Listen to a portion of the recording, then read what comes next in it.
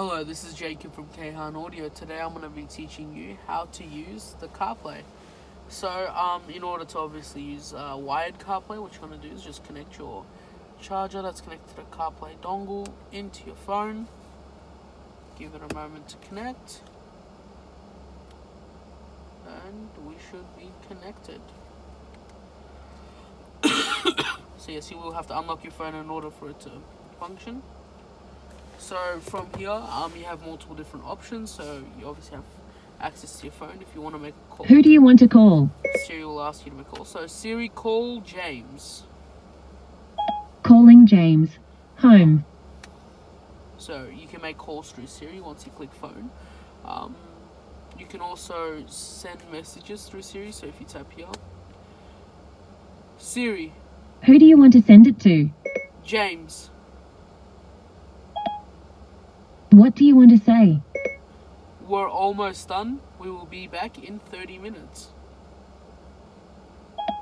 Your message to James says we're almost done. We will be back in 30 minutes. Ready to send it? Review. Your message to James says we're almost done. We will be back in 30 minutes. So if you Ready to send it? If, uh, cancel. Okay, I won't send it.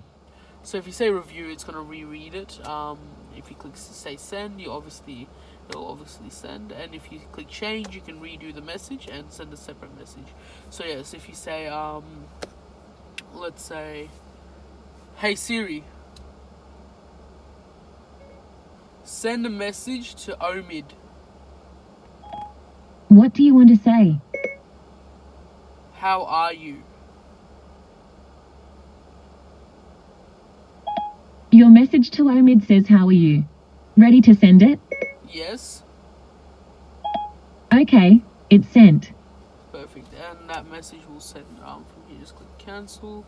We'll go back to the menu. Um, so in order to go back to your car, so we have had issues where people don't have this assist here. So what you do is simply just tap this button here in order to go back to the main menu. Um, to simply go back, all you need to do is either create a shortcut where you can simply swipe and tap it, such as doing this. Going here, the side, and doing that, and just tap. So when you're back here, once you tap onto the app, and you're back into your um, CarPlay. Um, so if you do have any other apps, sadly I don't have uh, multiple apps, but you can go into um, if you have Waze on your phone, Spotify, any audiobooks or podcasts along those lines, they'll also pop up as an option. Um, if you go into now playing, um, bring up your music. So if you have any music, I sadly don't have any music up on my phone. Um, but if you do, you can simply access it through here. You can also tap onto the top left corner, which is um, takes you back to iTunes or your music. Um, messages is here, and your GPS map will be right at the third option at the bottom, or you can access it by simply tapping the maps over here. Whatever you open on your screen will open on your phone as well, so be aware of that. Um, but yeah, there you go. That's just um, my address, and it'll tell you where to go from here. It will also show you the exact time and um, 4G and amount of bars or signal you have. Um, as you can see, I have WhatsApp, so that's also another app that's popped up onto the unit. Um, so in order to access some of the other functions, so let's take it out of the charger. Let's go into AutoCute. Um, so if you're driver side, obviously in Australia we're on the right side. So what you want to do is um, tap that settings button on top left, swipe down, and since see how it says driving position, put that onto the right. So your three menu bar, your um, music, maps, and I believe it was messages will be on the right side instead of left side. So you can um, it's much closer. Um, you can also have your icon settings. So if you go into advanced settings here, go all the way to the bottom and change it to. So we're in a VF. So uh, we'll go forward for now because a lot of the vehicles are forward that we um, handle. So yeah, as you can see, once I reconnect this to my phone and it loads up, we'll take a moment. Let's go back.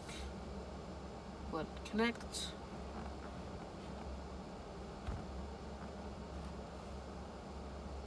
Open up your phone, so unlock it, and now we're back here. See how the menu bars are now on the right side, whereas before it was on the left side.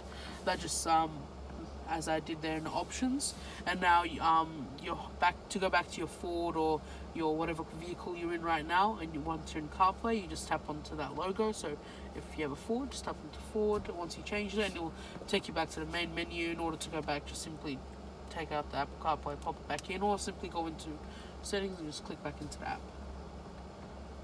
So yeah, um, please be sure to like and subscribe the, to our channel. Um, please feel free to share it with your friends so you can help them. Um, yeah, toodles.